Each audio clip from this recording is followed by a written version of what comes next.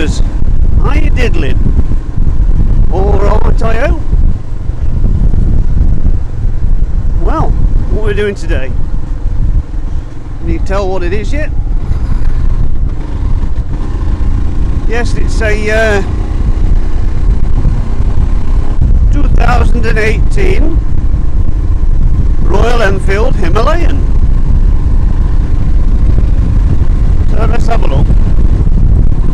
I tried to test drive this last year, but unfortunately uh, they didn't have any in stock that, that worked.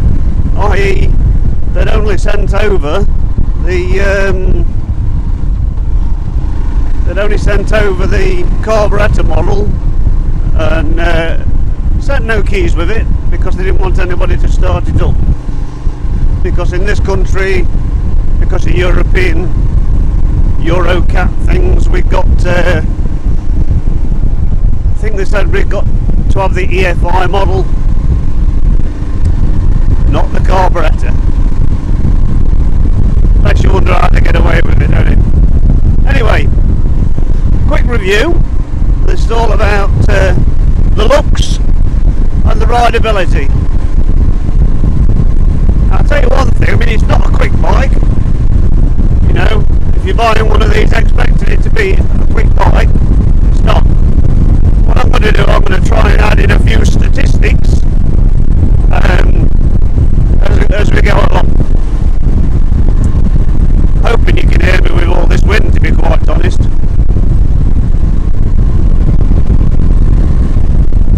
I think uh, comfort wise, I quite like it. The riding position is great to be quite honest. Hello, what have we got here? Nope, they're not chickens, they're pheasants. Come on. All works. got pheasants everywhere. Bloody hell. Yeah, so I think it's a good set out. Um, not sure we need to know what direction we're going, but uh, hey, important thing, it's got a fuel gauge on there, which I'm not sure how accurate they are, but you know, let's face it, there any fuel gauge is only a rough indication of what it should be. Um, got the rev counter up here. and then you've got your mileometer, etc., just steering along with your speedo. But in there, you've also got your gear selectors. So I can see like there into fifth, fourth, third, etc. Um,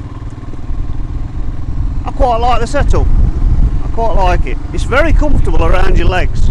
Very comfortable. The seat looks like it's that hard, sort of black foamy rubber, but it's not.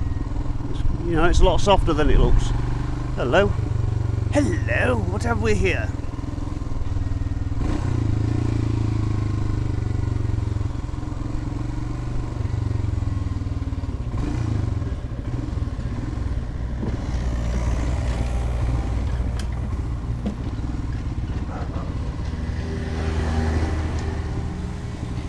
Go then. Tiny little chapel. Yes. Anyway. Now, as I was trying to say before,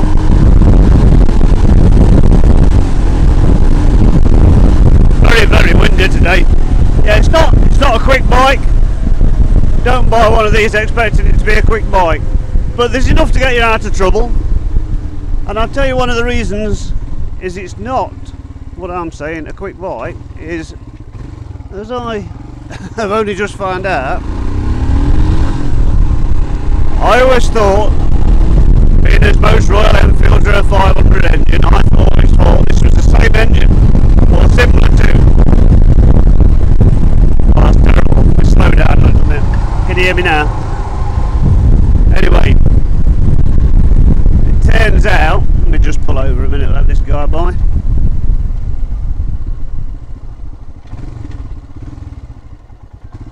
Oh, mate.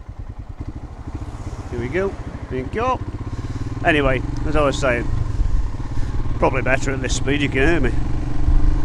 Yeah, it turns out it's only a 411cc, which shocks me because I always assumed it was a 500. And I'm pretty sure I've seen other reviews where people have said it's a 500. Um, don't quote me on that, may wrong. Anywho, have already seen a walk around video of this.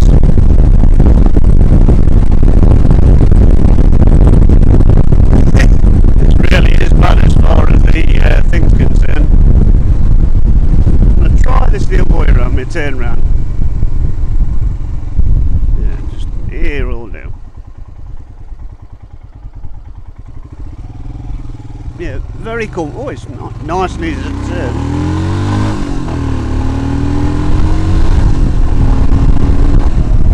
There you go. Good for meerkatting. Good suspension. It's a bit like a mini adventure bike. I mean, they call it the Himalayan. I don't think for one minute you should be climbing the Himalayas in it. I mean, box standard, these little antenna mirrors, sort of, um, to be quite honest, they're awesome as far as view is concerned. They're quite broad shouldered. You see straight past me, no problem.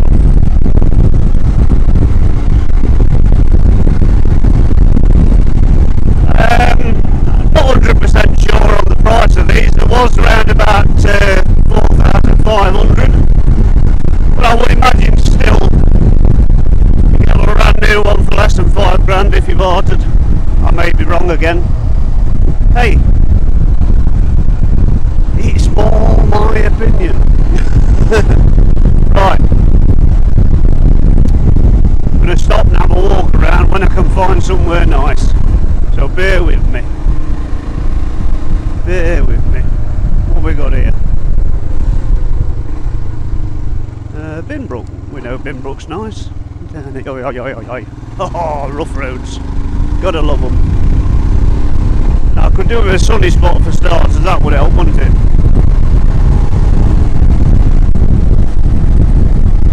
Yeah, the bike itself, uh, it's got not a knobbly tyre, uh, but not a road tyre. It's sort of an in between. Um, trying to think if there was a, a word for it.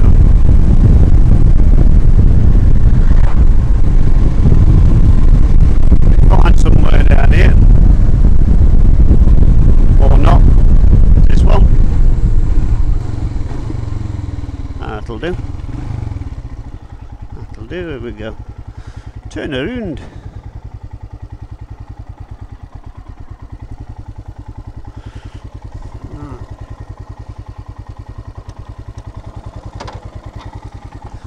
Ah.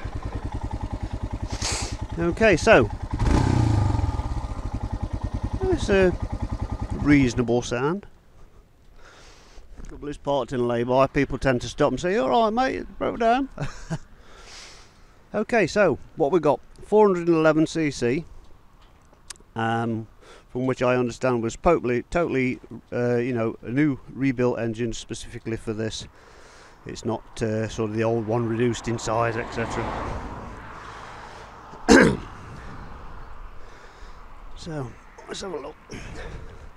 So on here, surprisingly enough, we've got Pirelli tyres, Pirelli M- MT60s on a.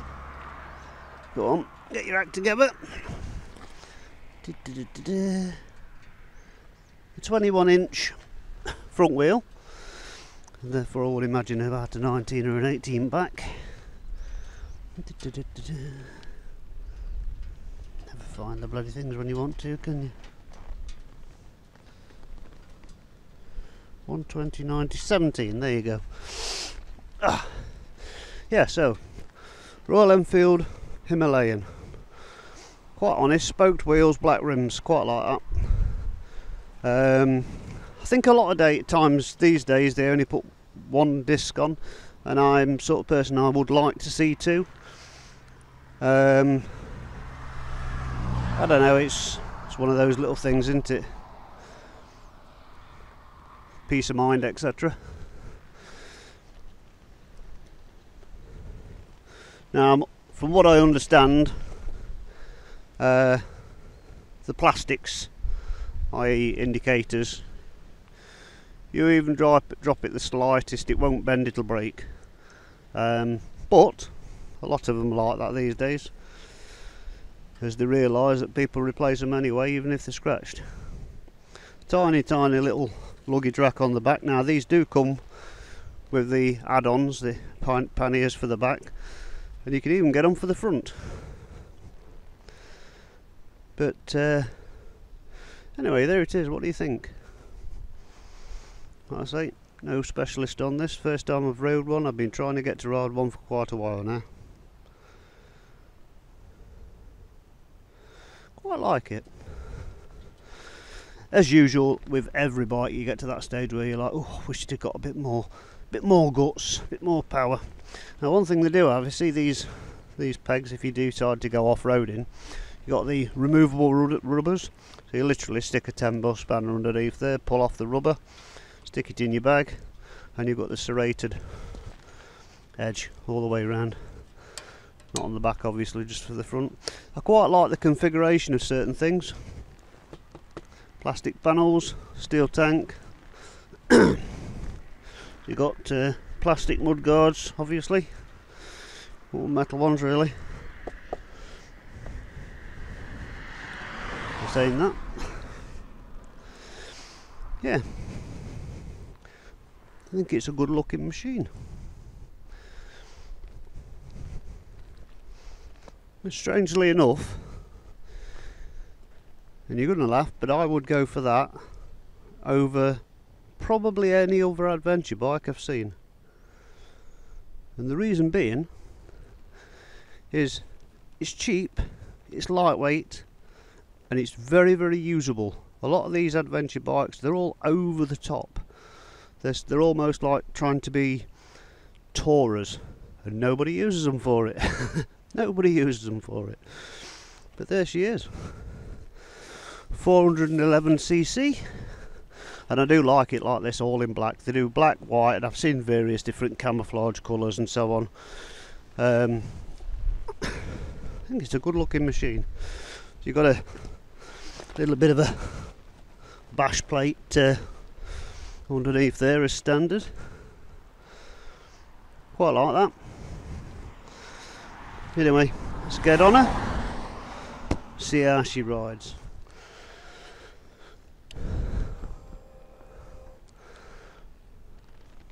Aha, so it has got ABS. Okay, so we've got an ABS warning like this, so obviously we've got ABS. I'm assuming it won't have traction control. That'd be a bit silly on an adventure bike, I thought. There you go.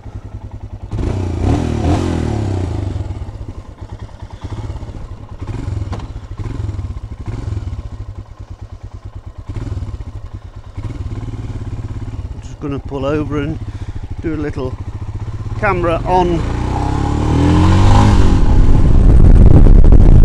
Yeah like I say I'll put some specs up. I'm not sure what the top speed are or the 0 to 60 times things like that. To be quite honest this isn't the sort of bike that you would be buying for top speed or 0 to 60 you might want to know that it's got enough speed to get you out of trouble. But um, a lot of things with these, I mean look at this. A lot of things with these is this is um, how good is it on bumpy roads? How good is it off-road? Well I wanted a test ride, so I'm not going to take it off-road am I? because uh, I don't think they'd be too happy. So what we got here? Binbrook this way.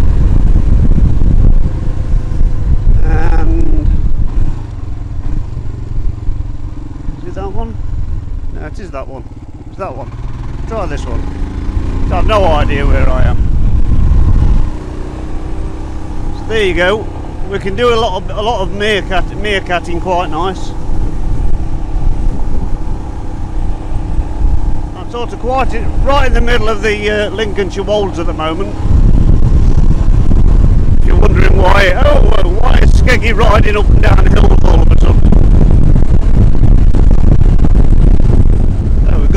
uh, got these here. trying to find the switch gear for the headlights, I can only assume. I've got a flasher, I've got a main beam on and off. So it's one of them things where I can only assume, well, the headlights are on all the time.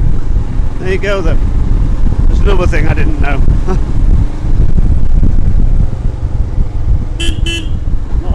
twin horn by the sound of that.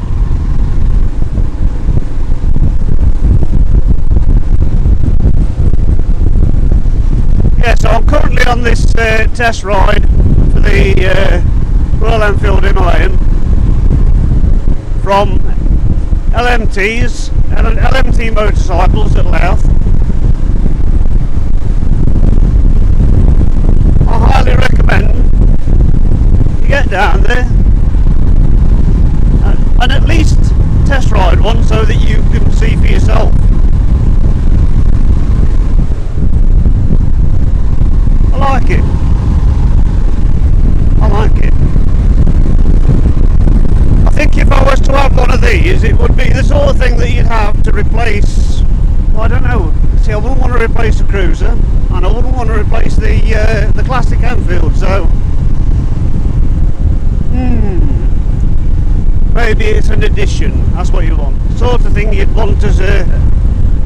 It's a nice all year round bike, but I tell you what, I think with these tyres and everything, to make a nice winter winter bike. find out how much your next demo is. it's done 5,000 something miles. But the sun making my eyes water along with the wind. And then bloody cold. Making my nose run. Not good. Good at all, you know. I've Got to get back for a certain time. I've no idea where I am, really. I've a rough idea. Ah, there you go. Just what we need. See how she goes on a bit of a quicker road.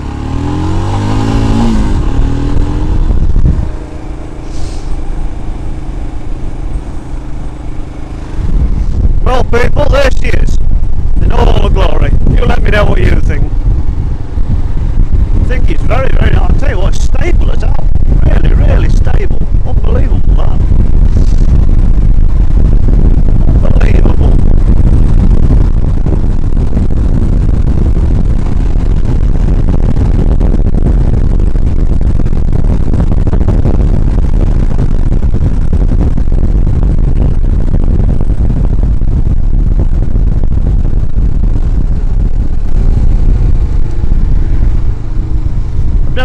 Never owned a bike that's got a, a gear select to tell you what, what gear you're actually in.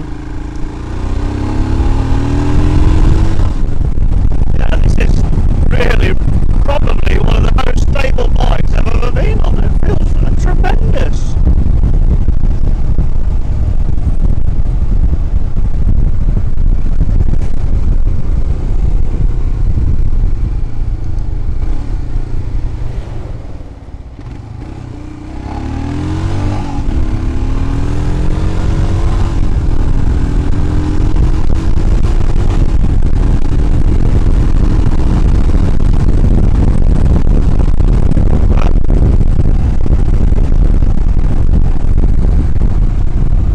It would benefit from uh, a few more horsepower, but to be honest, I think that'd be doing it a bit of disservice when you consider what it's capable of.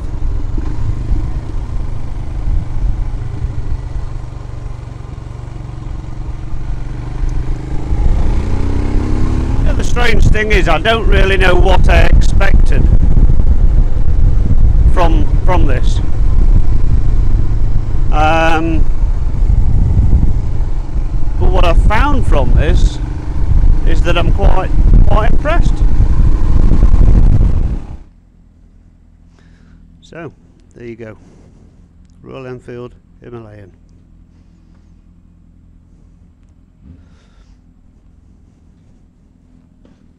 Quite impressed a lot more than I thought I'd be. Which I don't know why. Don't know why I thought it'd pull it pull it down a bit, but no. Very, very good. Very, very good. And there you go. that brand new price, 4195 Hmm. Very good. Right.